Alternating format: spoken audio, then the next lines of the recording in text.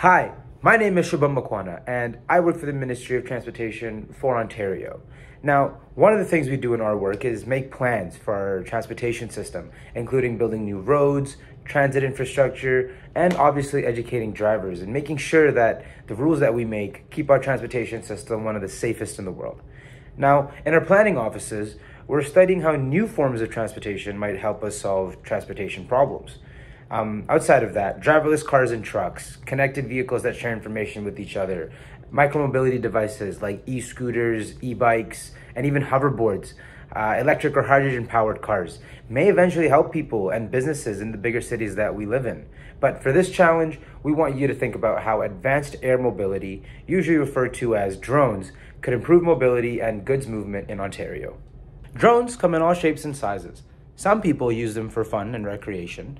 Others use them for aerial photography or inspecting hard to access locations like the bottom of a bridge over a river, for example. But we call this technology advanced air mobility, also known as AM, rather than just drones, because the work doesn't only include remotely piloted aircrafts, which are drones, but also something we like to call the electric vertical takeoff and landing aircrafts, also known as eVTOL. Um, now, these are used both to carry people and goods. Now, the eVTOL is still in design, development, and the testing phase, but once they're available for sale and use, we will likely have a pilot for many years to come, but not necessarily forever, right?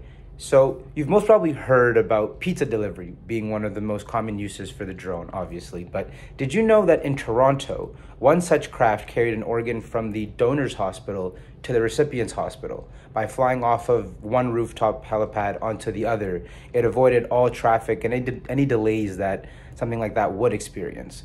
So now we know that drones can transport sensitive items like rare blood or a donor organ, where they need to go very quickly and very directly. So, AM is a desirable technology for transportation for several reasons. Most of them are electric powered, so they're environmentally friendly. They don't require as much space and infrastructure as airplanes or helicopters since they're small and they don't need a runway. They don't, or one day won't need a pilot, and thus we can dedicate their power usage to carry more goods, and in the future, hopefully passengers.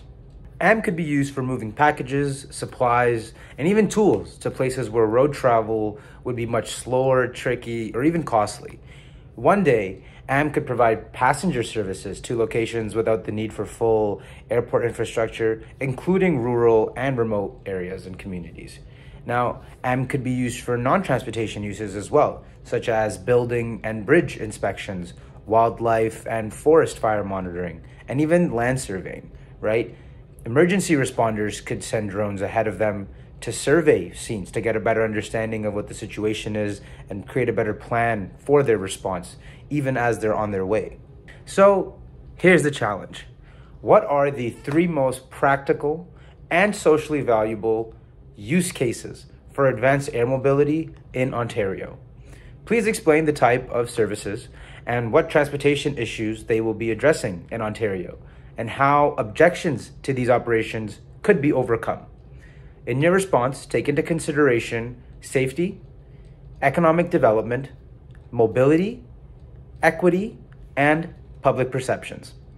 Good luck!